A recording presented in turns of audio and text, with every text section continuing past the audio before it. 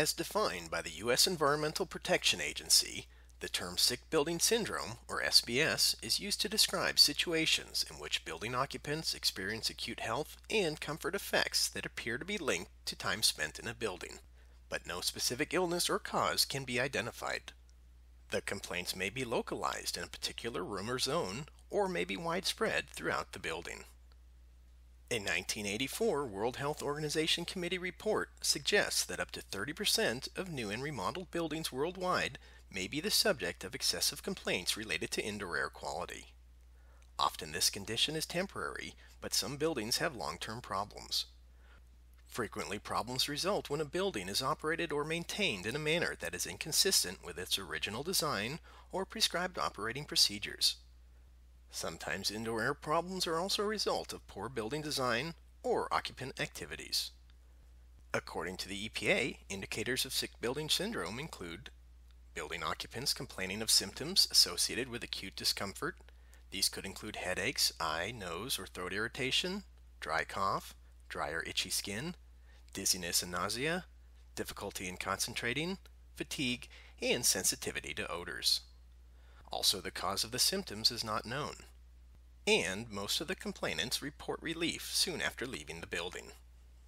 The EPA also lists causes of sick building syndrome that may include the following. Inadequate ventilation.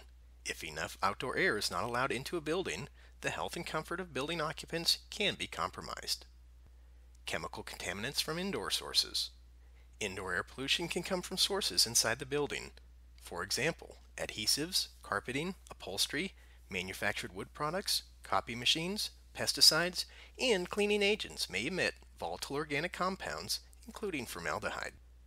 Chemical contaminants from outdoor sources. Outdoor air that enters a building can be a source of indoor air pollution. For example, pollutants from motor vehicle exhausts, plumbing vents, and building exhausts can enter the building through poorly located air intake vents, windows, and other openings and biological contaminants. Bacteria, mold, pollen, and viruses are all types of biological contaminants that may be present indoors.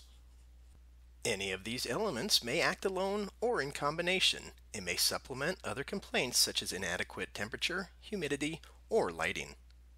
These are just a few things to know about sick building syndrome. To learn more about this or other health and safety, indoor air quality, occupational, or environmental issues, please visit the websites shown on the screen.